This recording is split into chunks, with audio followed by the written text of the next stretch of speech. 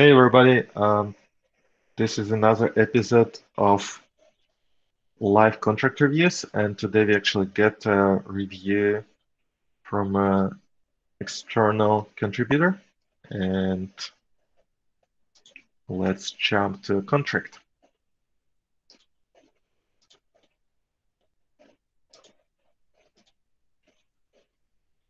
Okay.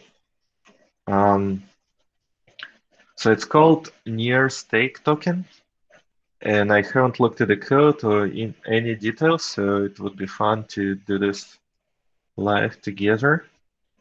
Um, the idea is to introduce a token that is backed by staked near tokens. And then you can just uh, transfer it and trade it. And I assume it will uh, supposed to receive a reward similar to how Compound wrapped tokens uh, appreciate in price and later can be redeemed back to the original asset. Except uh, in this case, asset is near and um, or stake near, and then it collects uh, more rewards. Okay, so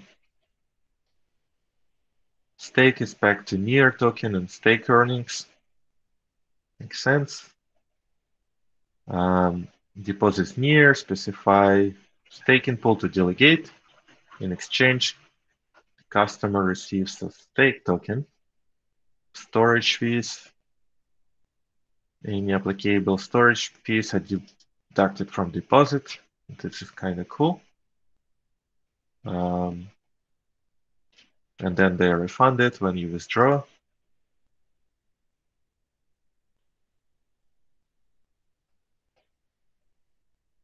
Right, so stake token value is total stake near balance divided by total stake token supply. Um, hmm. That's actually depends if all of the stake tokens are staked to the same pool.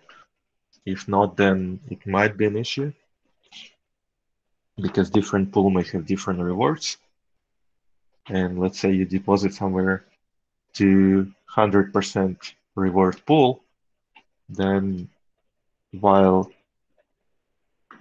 you appreciate from other people reward, you can also keep all the rewards if you own the pool. And stake near not available, yes, this is a problem. Um, if another is submitted, then everything is locked. Right. Um, so yeah, the problem is because staking pool relocks everything after another unstaking action, then if multiple people through this contract stake into the same pool, then they will need to either wait for unstaking to happen until they can send another one for four epochs, or they will uh, break the withdrawal for the previous person. So that's not easy. Um, to work around unstaking request will be held until a previous unstaking request is complete. That works. That's fine.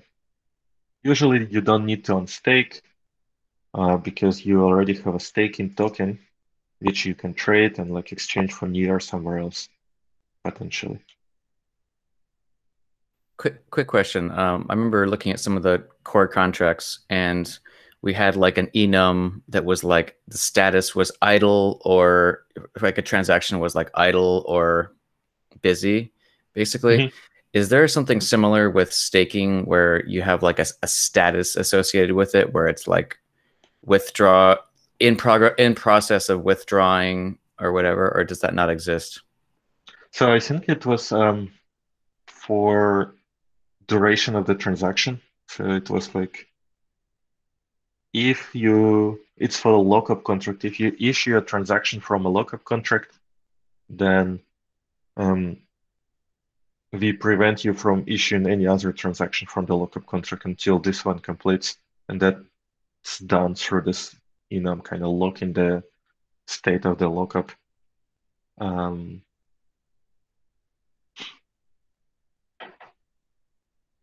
except like in some rare cases. Um, cool. Let, let's jump into the contract. So starting with lib. And um, so there are a bunch of modules. Um, import and global allocator. Oh, let's start with TOML. So it uses Near SDK 2 and some interesting uh, dependencies. So primitive types allows to use like uint and stuff. Um, and deflate, I don't know, what is the deflate crate? Isn't that like Yeah. G, gzip, It's like, compression? zlib. Yeah, zlib or gzip or something. Um, not sure. Can I go there? Yeah. Yeah. Deflate bytes. That's interesting. So like to compress data, you basically exchange in storage, which is more expensive, towards um, towards the compute. But at the same time, contract is more is larger. So you pay in for the like dictionary, common dictionary deflate once. So if I try to build it, there's um, um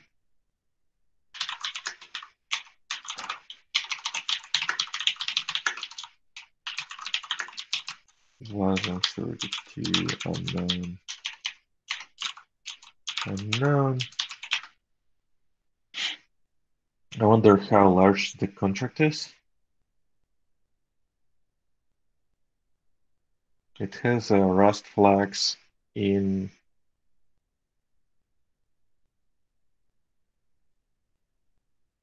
in cargo, so that should be fine.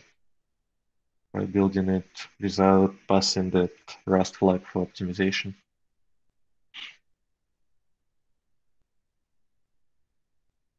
All right, let's continue for now. Um, okay, so this is the main structure. It has a operator ID. So some kind of admin role configuration. Config updated on block index. Um, okay. Yeah, the block timestamp is not needed so long as you have block accounts and um, staking pools and order it set. Hey, Chad. Hi, sorry I'm late. Yeah, so we are reviewing a new contract that allows you to stake, uh, to convert your delegated tokens into a wrapped fungible token.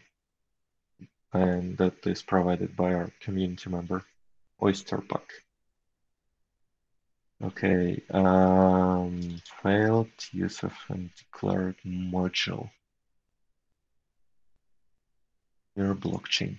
Um, where?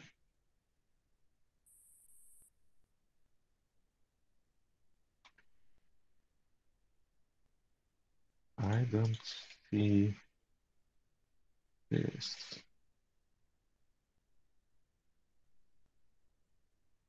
Hmm. Doesn't need nightly? It doesn't need nightly.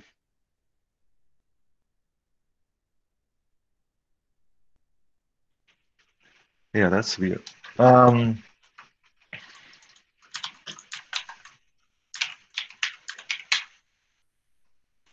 I'm gonna do quick search in a project.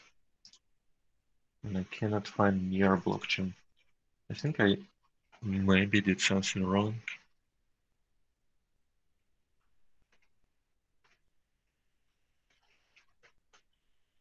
Maybe target. No, target is correct. Um, not sure. Maybe I should have tried to build it. Okay. Let's see if there's tests, and I can try to run tests locally instead. So CLion allows to run tests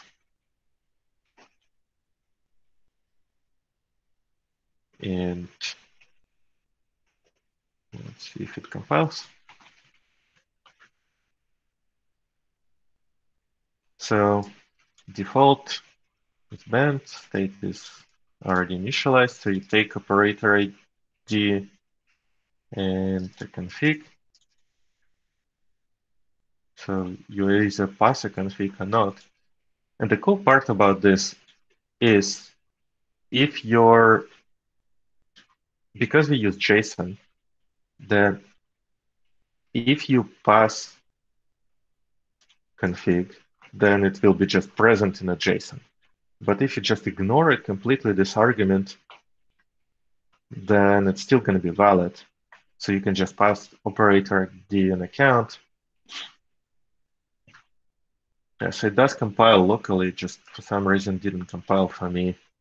Um, when I did cargo build.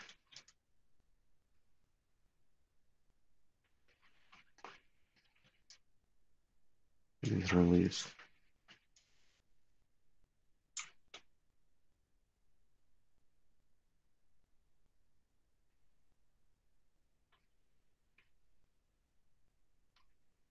Right.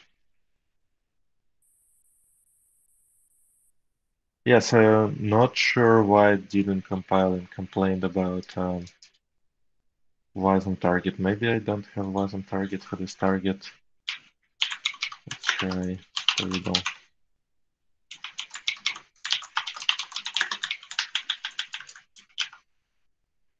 No.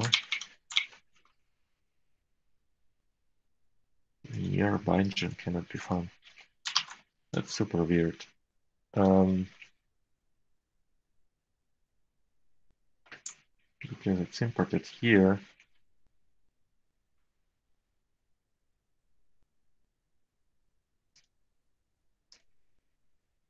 Okay, let's see on the left. Yeah, I'm getting the same error here. What's the file size? It also doesn't tell you.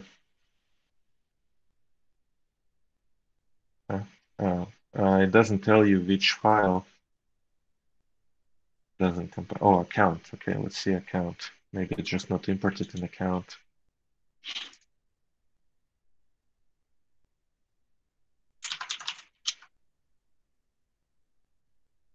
No. Um, okay. Let's try to move all imports up. And um, It shouldn't affect anything. Unused imports, unused variables, that, uh, that doesn't affect anything. Yeah. Near blockchain. From maybe near SDK is broken for some reason or something like this because some dependency was published. Let's see if I can still compile something.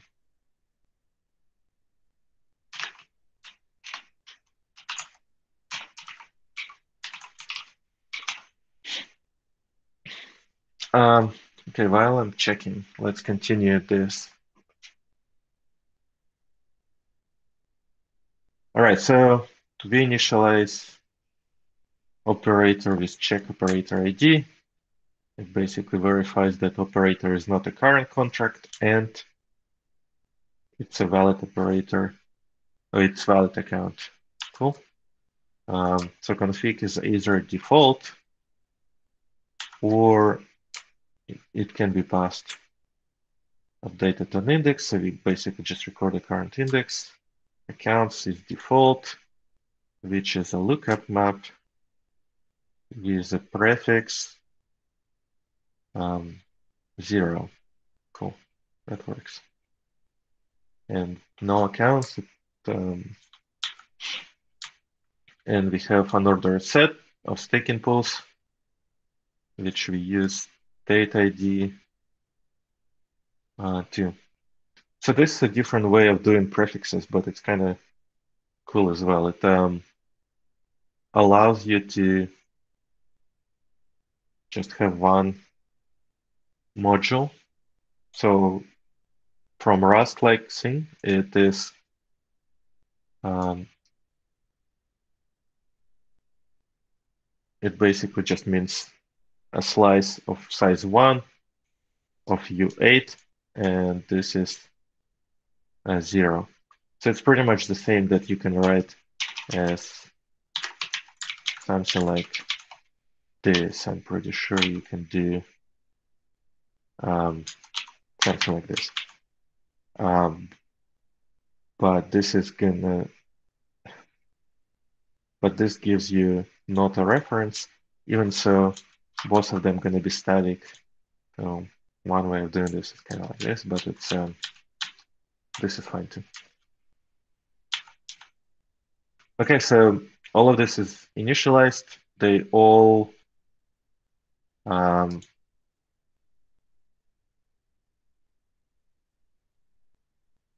they're all unique. So all prefixes are unique. So then it writes states. So this is not needed because you're going to use init and it just can be rewritten like this. So you just return it and it will write it at the end of the new because of the init. Um, okay, so just two getters that return operator ID and a block index into you. Do you need the state, right? I remember No, it, If it will happen. It will happen automatically after init completes. So this is not needed. because of the init decorator, right? Right. So it just writes to state whatever you returned. Yep. Um, so this is not decorated with near bindgen, uh, which means these methods are not going to be exposed. Plus, they they have a private visibility, which is also gonna be. So I'm gonna remove cargo lock and try to rebuild to see if a lock file used something different from what I expect. But it's strange. Um, so this, yeah, this is a check that verifies that we saw. And this check asserts that the oopsie, that operator that the caller is operator ID. Then we have tests, a unit test that uh, initializes a contract, verifies the default config, block index that was passed from the context, and checks it through the view call. Then this passes a custom config, verifies that um,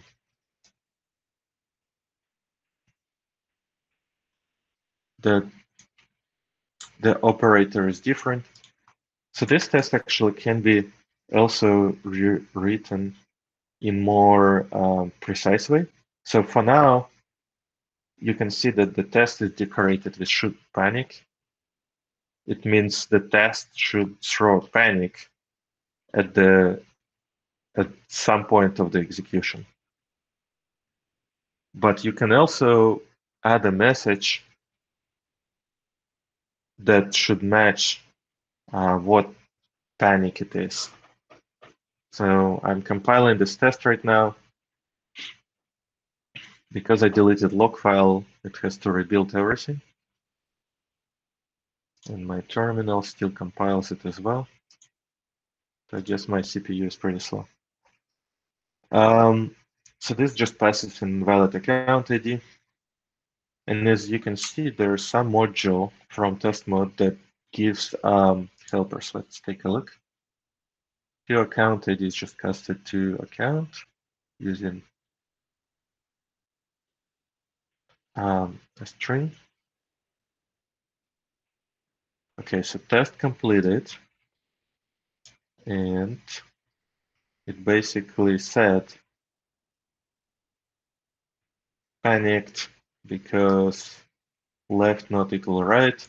So you can see this helper message that we can assert here. I don't remember the syntax, something like expected, like this. So you can mark a module or a test with a specific message, and then when you rewrite the test, it will verify that the panic contains this message. So now if I modified something like, oh no, then it should fail because the panic is different. So the panic was like, hey, operator ID must be, um, where's my, oh no. Uh, I guess this is the assert message. So it doesn't match the one that we put here. That's why the test failed. So if, for example, something failed at initialization that is different, then uh, then the test will not complete. Similar how if for invalid account ID, if you put it there, then it's an operator ID is not a valid account ID. So we can just paste this message here if this is what we expect. And then when I rewrite it, it completes. So this unit test make it more precise because they verify something. Otherwise, um, it can be a nasty bug with something like I can panic here. Oh no. And it never gets to the actual panic. So it still completes and succeeds while we never verified it. But if we would put it here, then uh, the test would fail. So this is uh, a good way of making sure that the test actually verifies the panic you want. There was another way of how you can do this you can basically catch a panic using a custom panic handler and later work something with this panic. Or like you can ignore it and continue. So if you want to check multiple panics on the way. What's that Um, syntax look like? I haven't seen that. Uh, we had it in really old unit tests. You basically put something like std custom panic handler. You pass the closure that just puts the panic into some variable and returns it instead of unwrapping it, and then returns you back to the execution. Then you restore the panic handler and continue the process. And you can parse the panic using assert. It Cool. should be in a Rust book somewhere in the like a helper. Okay, empty operator is also just not a valid account ID. And this is also not a valid account ID. And finally, multiple initializations. Um, so that's interesting because this piece is actually panics. Um, this contract already initialized, which is actually correct. Um, but unit tests are not really a good way of testing it because the state is somewhat weird. without, for example, this right, so without this thing, this test will not panic. It's because unit tests do not really store into the state. Um, it just calls this method. So that may be why this piece is here. But if you do a simulation test, Mm. then this uh, method would fail. Okay, um, let's go to some other place. I think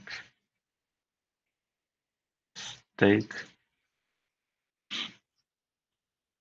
Um, stake or count? Count is has some logic, so this is good.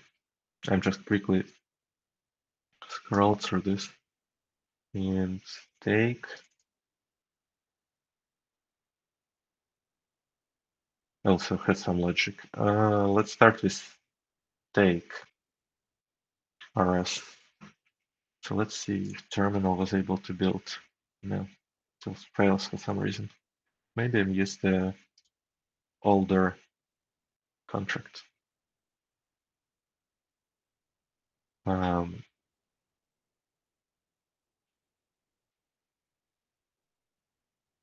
all right, so stake token service is what we reviewed. Staking service.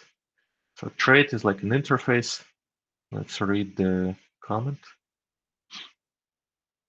So uh,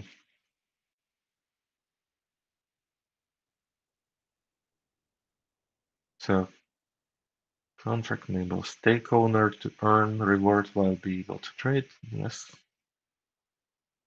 Contract rules. Customer can deposit and stake near in exchange for stake tokens. Stake tokens are issued for near tokens that are delegated to staking pools.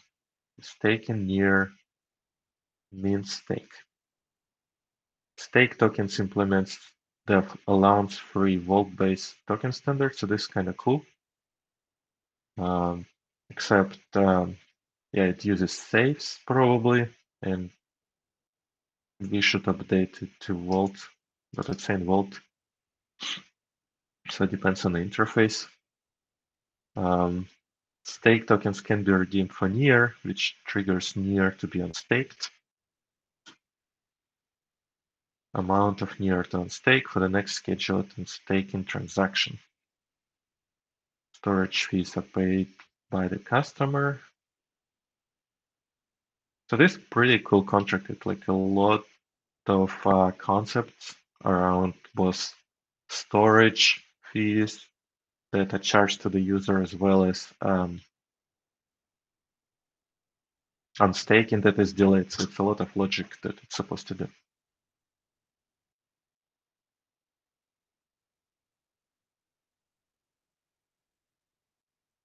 So yeah, global storage fees are paid by this contract.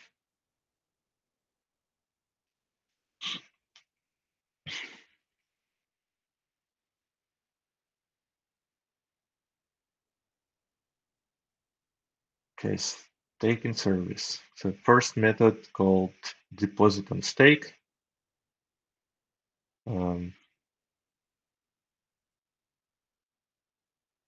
so it stakes the attached deposit to the specific staking pool, returns a promise. Uh, if there's any storage fees, then they will be deducted from the deposit. Um, so what it does is check staking pool account ID, panics if the account is, ID is not valid, right? Deposit attached. Uh, date customer account, check if customer account fees needs to be applied. So removes that, deposit and stake with the staking pool. Updates total balance staked with staking pool. Computes stake token value in near. Okay, credit account with stake tokens, logs the event.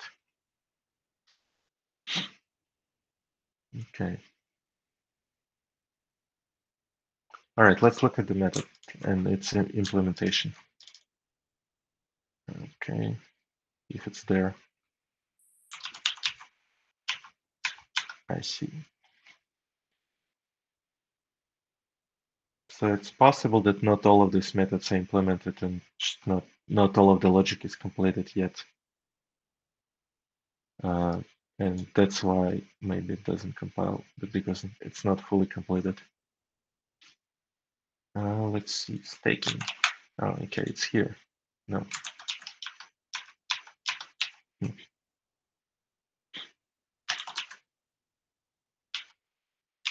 Okay, yeah. So I guess not the contract is not fully complete. Um, and I was asked to look at the account. So let's look at the account for now. All right, so when a new account is registered, it's assigned to the next sequence value, sure?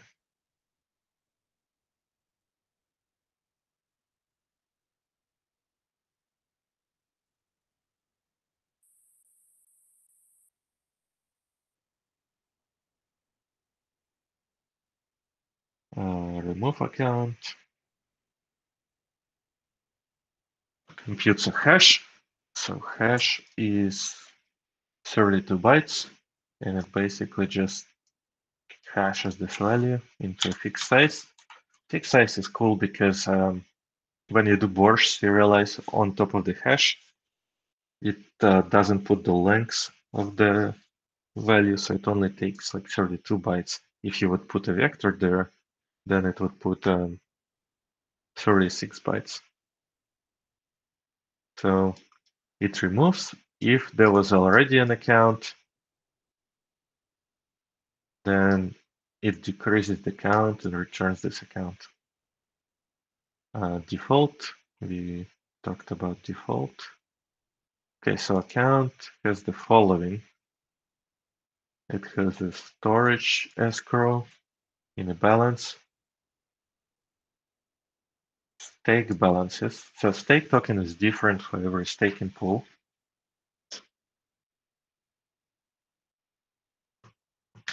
Okay.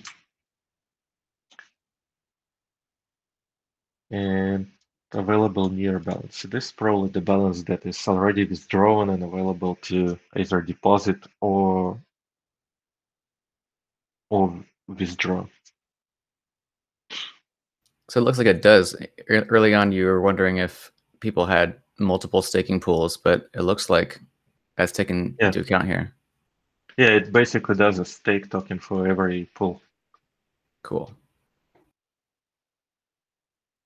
So you can essentially stake with multiple pools. I would probably rewrite it where you have a one contract per staking pool. So if you have a staking pool, then maybe there's a factory that deploys a contract that only works with one staking pool. It has a bunch of benefits. One of them is um, you just have a single token to worry about and a single balance to worry about. It makes it work nicer with sharding because let's say you have two different accounts that trade heavily. They don't have to go through one contract. They can be done in parallel considering there can be multiple shards. A downside of this is you will have to deploy multiple contracts, and currently it's expensive because our contracts is fairly large after compilation. Um, this can be addressed with two ways. Uh, one of them is we will eventually have replicatable contracts, which means the code is deployed once and paid once, and everybody just has a link to the code, basically just a hash of the contract code. Um, Hmm. So that so wouldn't will be, that wouldn't be using cross contract calls. That would be like actually yeah. Could, could you explain that a little bit more? Right, so we have a map for this uh, that explains this. So the technical side we can ignore for now. The way it works, you deploy a contract code, to a specific account. So similar how EVM is a custom account, there are going to be like a global contracts registry or something like this, or library. You call deploy code on this account, um, and you have to transfer balance for this entire deployment to this account. So it takes your balance if the contract doesn't exist, and it puts it into a code base where every shard has access to. Now, when you have a, an account, then there may be a new way of deploying a code, such as deploy by hash, or if you already deployed the code before, the same code, then the next time you touch this account, it will release the storage under this contract and credit it back to you. So it will delete the local copy of this contract code from your account and just use the remote one because every shard has access to this and they will be indexed by hash. So, or you can I could imagine by hash. Yeah, I could imagine we might be able to generalize that so that if the same contract gets deployed to a different account, Mhm. the chain can say like, "Oh, this is already over on this account in this shard," and then the shard Right. where this account lives knows that it needs to like store it and it, store it locally in its own database. Whoever is running this shard. So Um, yeah, that that way you need like to be able to address like when you delete a code on one account, you need to charge or like Keep release the- the, Yeah, charge I the see. other account, and then when you rebalance or like reshuffle accounts, yeah. reshard them. Okay. Okay, let's continue. Um, so this is. But you were oh, saying there were two ways. That was one way that we could make it cheaper to deploy multiple to do a factory pattern. What's the second way? Second way is uh, no STD. So there's some work to make contracts smaller. It will not make it completely cheap, but it will definitely make it like maybe like six to eight times cheaper comparing to STD version. That's a lot. So STD contains a lot of debugging information, um, collections like hash map and stuff like this. Um, no STD. First of all, we'll need different JSON work that works with no STD. Even Susterd also works. Uh, then Borsh, no STD, and then yeah, no STD just like much smaller comparing to STD um, binaries. Plus, we can strip all a lot of debugging info out. Then it will also make it. Okay, so trait account registry. So it has a register account. So I assume it works similarly how you do um, uh, vault-based fungible tokens. So you have one kind of registration endpoint because it's fixed size per account. Then you have a register account and number of accounts registered. So account registered is a um, because it implements trait. Uh, this is doesn't need to be public. So all trait methods are considered public by default. And near bindgen actually works fine with this. We verified that.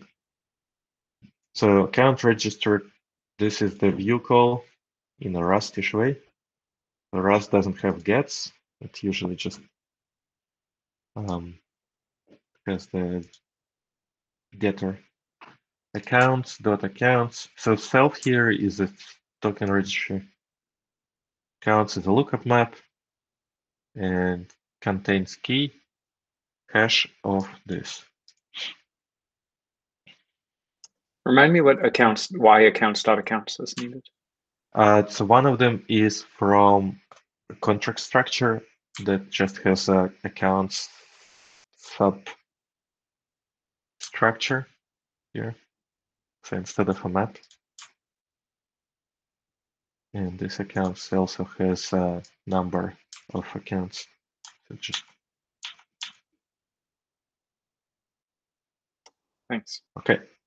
So it just verifies if account already exists. Um, register account. Oh, that's interesting. So it's um Nested functions, huh?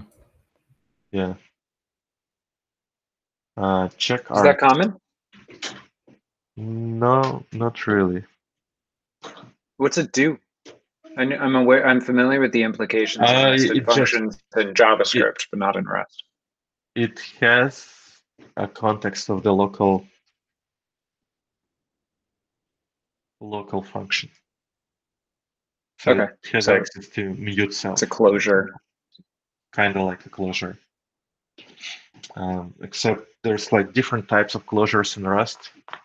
Like once mutable and like um, reusable closures. It doesn't look like it's being used here. No, The reference to self. a bunch of declarations first. I assume it's used below here, right? So check args. It will basically validates arguments. So deposit is positive. Um, account is not a current account. Uh, that probably doesn't need to be tested because the current account sup- should not have keys eventually. So that cannot really happen. And it just returns account and deposit. But it also doesn't, yeah, that's fine. Uh, second method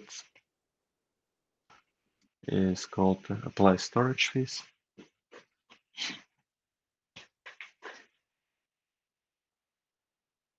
It's kind of interesting because you can move this out of this um, method. They it doesn't use any local context, so you can reuse it for someone else, some other method if you want to. But if you're not using it anywhere else, it's kind of a nice way to create a clear mental model of what this function does. Right. Okay, apply storage fees. It takes self. This is kind of self. Um, so capital letter self is uh, just a alias for the current structure. Initial storage. So this is similar. So this is a method from fungible token, original fungible token that refunds fees. Um, it basically takes the current storage after modification and you pass initial storage.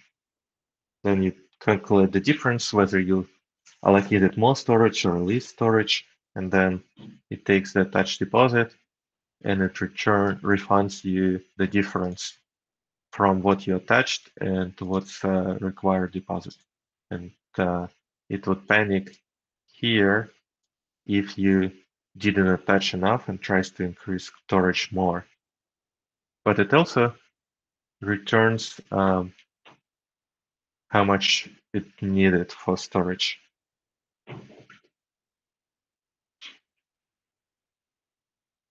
Could I go back one second and like, what's the what's the difference between lowercase self and capital S self exactly? So lowercase is an instance and capital is a class, Okay. kinda. It also, this method assumes that the storage has increased or at least didn't decrease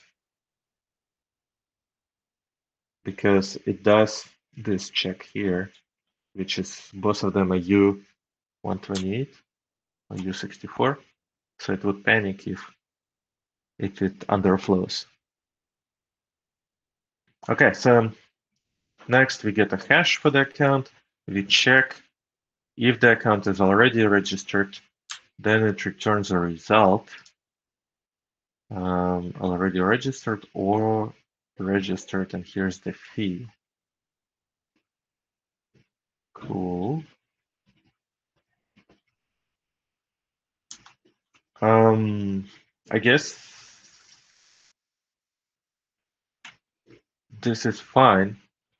Another way of doing this would be some kind of Rust way of doing this is would be result using actual std result, something like result um, fee or uh, registration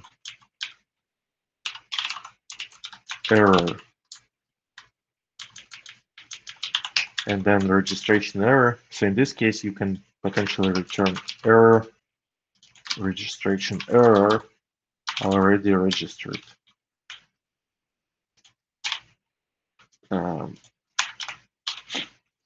and in case of success, you would return OK, storage fee, for example. Or if you want to be explicit, then you can do storage fee, something like this, or registration success of registration.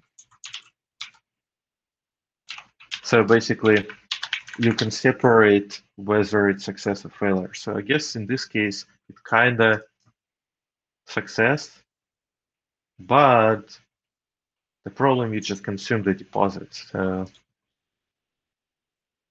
if I would attach balance here to registration and my account already exists, then this method just uh, took my money because it returned okay. So correct way of this is gonna be is better to like panic here, say like, hey, already registered. In this So- case, it would not take the attached deposit. Um, here.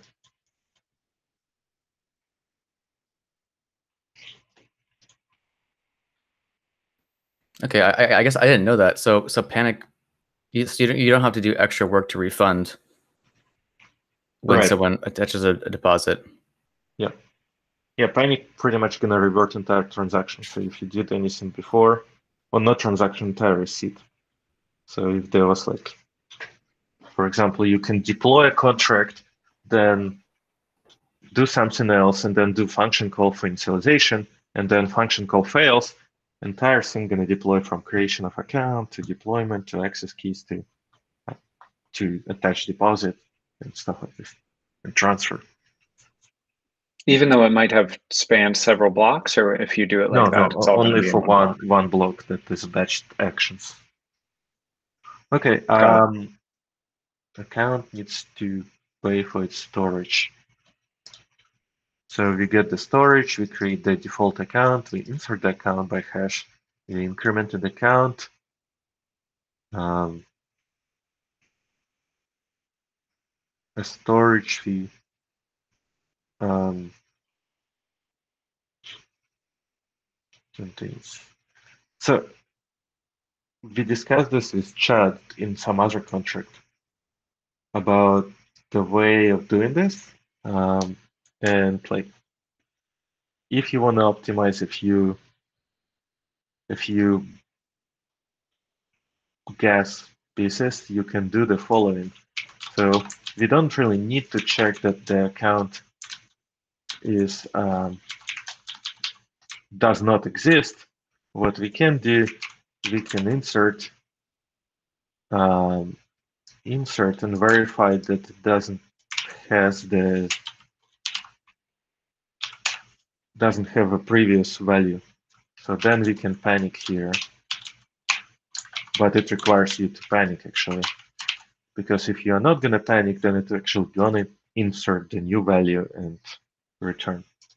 So what this happens is we basically try to insert and if there is already a previous value exist for this hash, then we panic and it's all gonna roll it back. So you don't need to verify.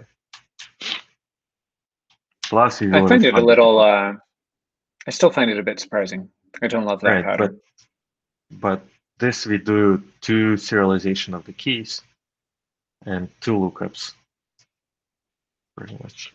So you pay Right. fees twice. If you do this like million times, not million times, but like hundred times, then it totally would make sense to optimize this as much as possible.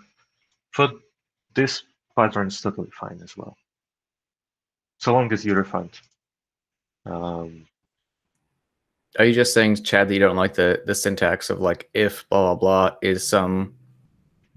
It's like no, no, I don't like the I don't like the kind of like uh, uh, elite mode version that Eugene does, just in terms of like expressivity. I find it surprising, right? Like when I read that, I don't.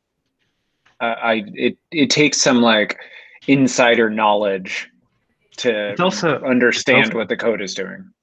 it also assumes that it will be reverted. So like it assumes it will panic Exactly. at this place because the insert already happened.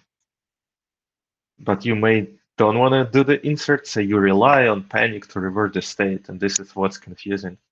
While this one is cleaner in terms of like, well, we didn't modify the state up to this point. So here we are ready to modify the state.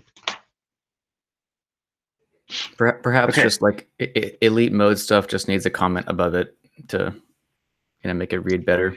Yeah. Yeah. I mean, I guess there's still the like possibility in the future, perhaps, that the behavior of how things are reverted, right? You're like relying on implementation details of the blockchain itself versus like writing code that uh, This is like somewhat would work even if it were changed.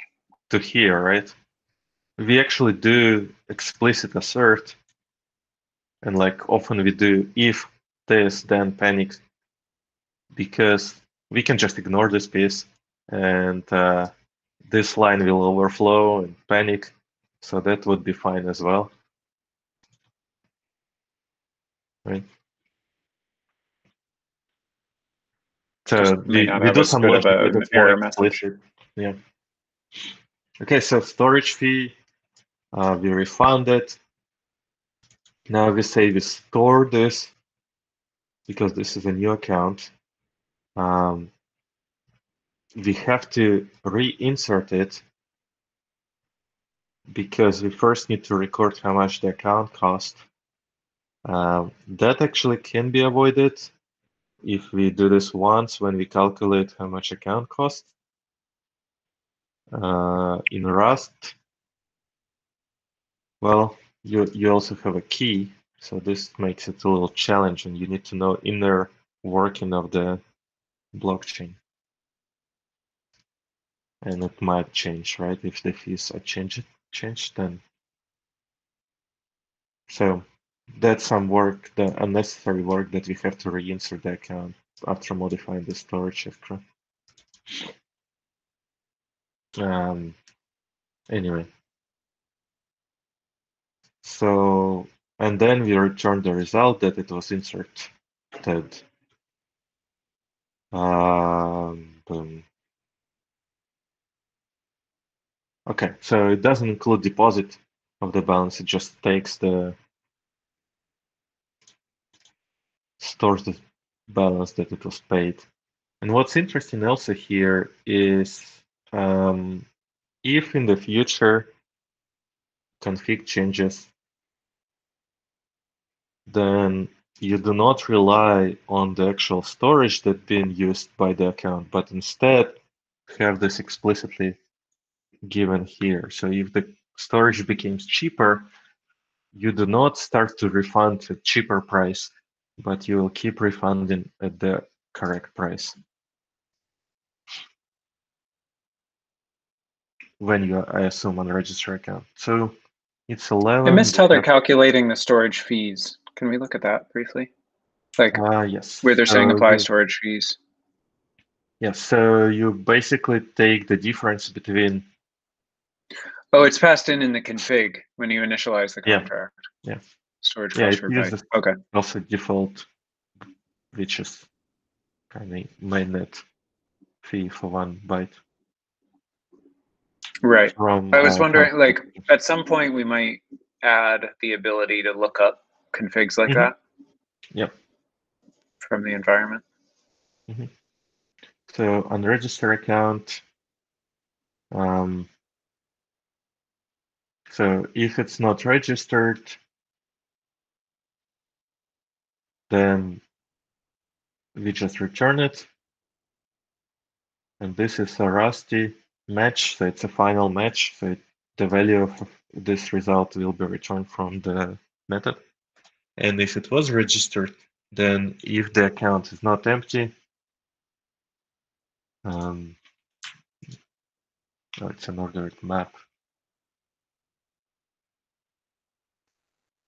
Yeah, this is the issue uh, where because there's multiple accounts, they may have a conflict on their balances because every map needs to be within its own subsuffix. Right now, they all reuse the same map, so unless um, unless we store them separately, so yeah, it's probably a bug.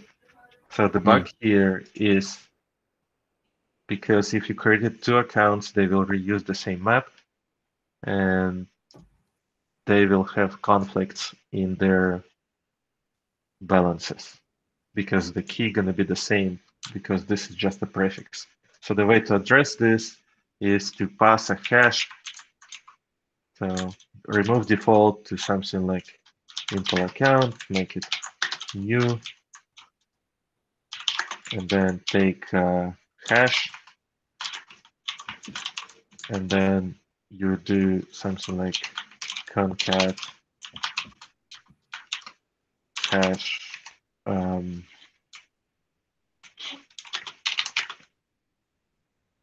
hash and state ID.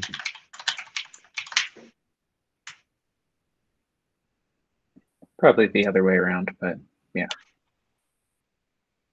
Sure. Yeah.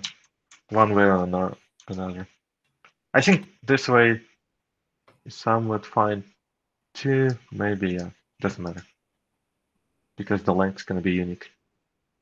Um, so what it does, it basically concatenates the unique hash of the account with the key.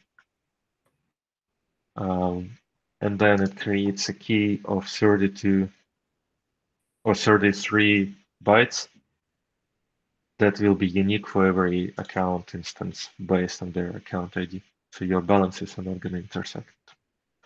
This was the same pattern we saw in the fungible token example, I believe, right?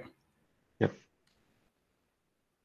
Okay, so it verifies that you don't have any balances. Then um, it is safe to transfer a sync. That's fine because you will delete this record here. Um, again, the pattern that I would use is use remove instead of get. Um, and I, then I don't need to do remove here because if nothing is removed, that's fine. If something is removed, this is fine. And then I would have to panic here.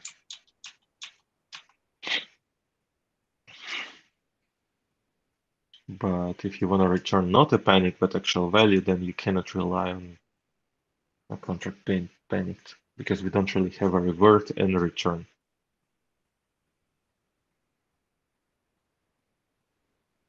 Um,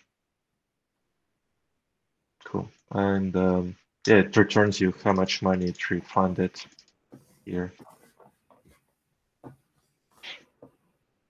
I think like if I can give like a general comment about this whole project, this is like extremely interesting. Like besides the like in-depth Rust here, like just the idea of tokenizing staked near is really cool and I, I feel like there is like a eureka moment that i haven't fully had yet but people are tokenizing multiple different things in blockchain and um, i like kind of get it and i think it's just so awesome that someone from the community did this um, and we're seeing this in like you know basic attention token is like tokenizing attention um, and there's this one site i think it's called gastoken.io where people are like like tokenizing like fluctuating gas prices and i totally don't get that yet but this is another one of those examples and um yeah i just want to applaud this this person for implementing it Okay, uh, I need to revert some stuff around account logic. If you wanna test check tests. Okay. So there is an interesting test about um,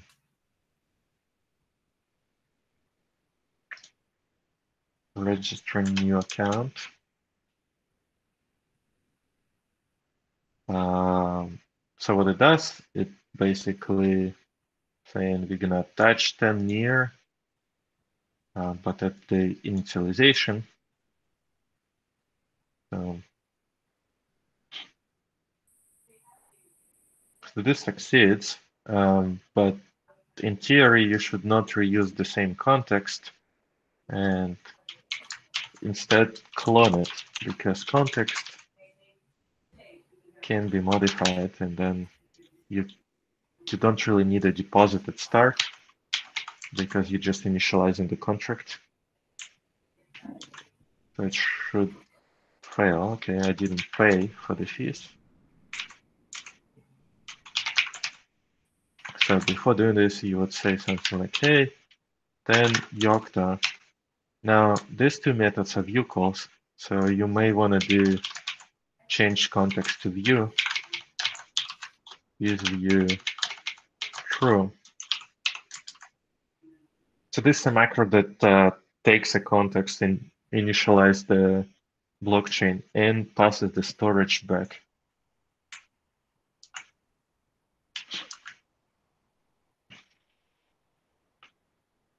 Uh, right, I need to change view back to not view. Okay, it works. So it just allows you to also verify that you don't require balances in some places.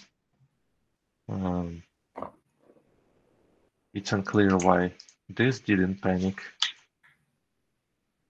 This attached deposit. It seems like in near SDK we don't verify that the constructor doesn't take payable.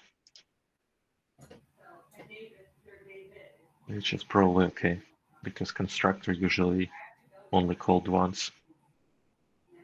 Um, then you call register account and you expect that it's going to be registered and not if it's already registered, then it's a panic. Then we again need to switch to the view call without deposit. Um, and rerun it.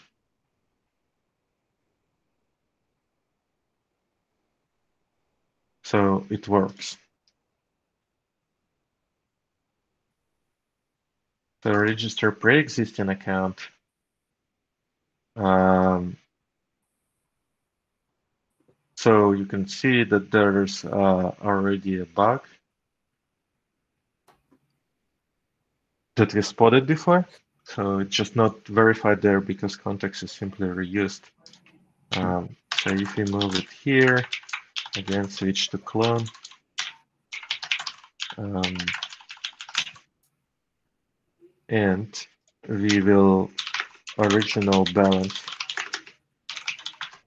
Um, we basically take the original balance after this initialization happened and we call match registered. So we register the account. So account balance should be increased by account balance should be equal original balance plus storage fee. So this is how we can verify that the contract only took uh, required amount of storage. What else we can verify is we can do um, storage usage. We can say here is original storage usage and we can verify that the something like storage usage increased as well by storage fee divided by config um, default. What's the name of this config? Um, storage per byte. Cool. Okay, let's try to rerun. Uh, what is Yocto near? Oh, right, That's zero. zero.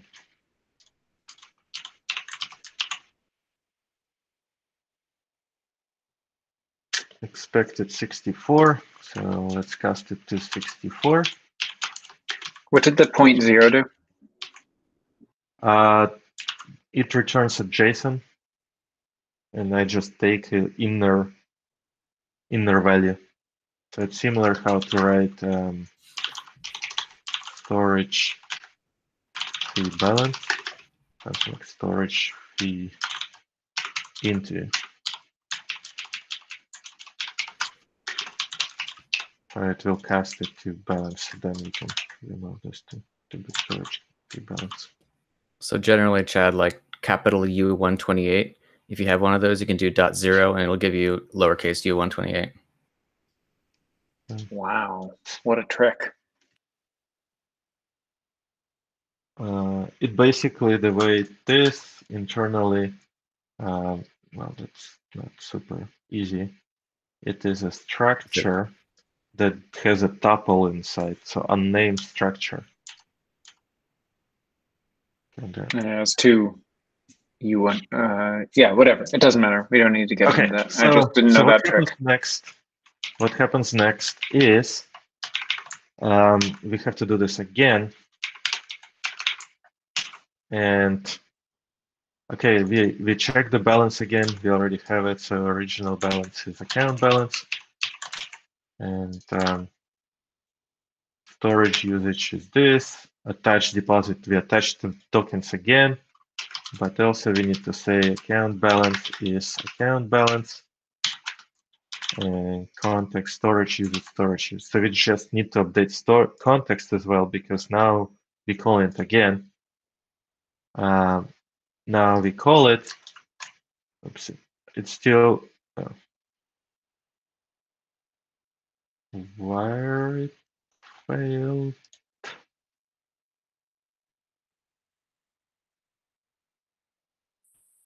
Well, while you're thinking about that, like I, I feel like these kind of tests would be better in simulations instead of like constantly changing the context. Right, because yeah, because you have to. Uh, uh, weird. Um, for some reason,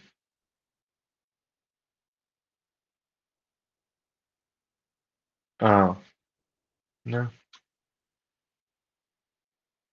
Yeah, the problem is I didn't change the context. Yeah, that that's much better in simulation, and it would actually cut the bug that we don't refund the storage or ref don't refund the money uh, and just keep it. So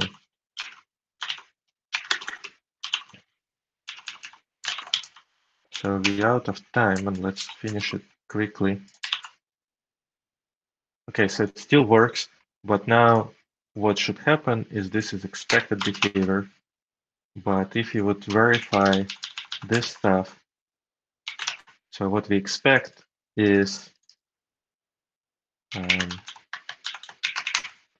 we expect that the account balance uh, doesn't change, and we expect the storage usage that didn't change. So if we verify the storage usage, it works. But um, when we verified that the balance didn't change, it fails. So it means that we took the tokens in. Um, okay, so we're out of time, um, but that was very interesting contract. I like the idea of it, and like overall the implementation is super nice. So we definitely should come back to this later once there is more to the contract added. And That's uh, great. Thanks for everyone who attended, and thanks for OysterPack for this contract and allowing us to review it live. Have a good day. Yes, thank you. Yeah. Deal. Bye.